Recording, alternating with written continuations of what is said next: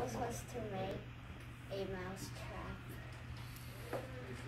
Design. My design for my mouse trap is when my button is pushed, the lever moves to trap the mouse.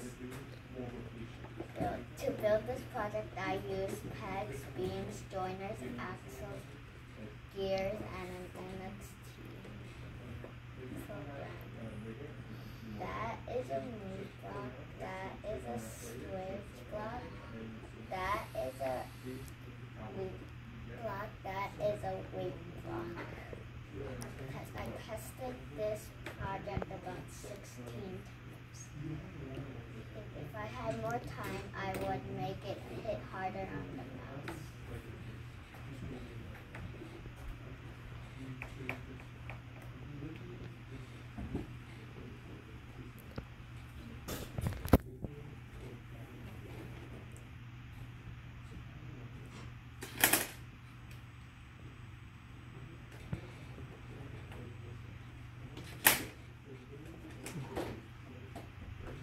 All right. Any questions for Elaine? Wait, but aren't you the mouse? So won't it just be hitting you harder? This isn't. If it does this, it's not hard. It's not um heavy enough to push that button. So you have to do it. again. I know, but aren't uh, you the mouse? So if you made it harder, uh, you would basically get your hand hit harder.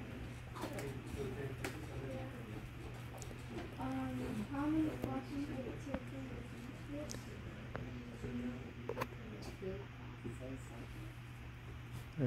Um, did you have any problems when making this project? A lot. Like, uh, what were the, some of the problems you had?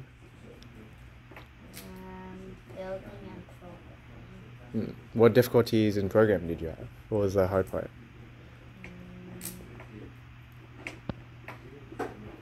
All. Okay. All right. Let's give it a round of applause.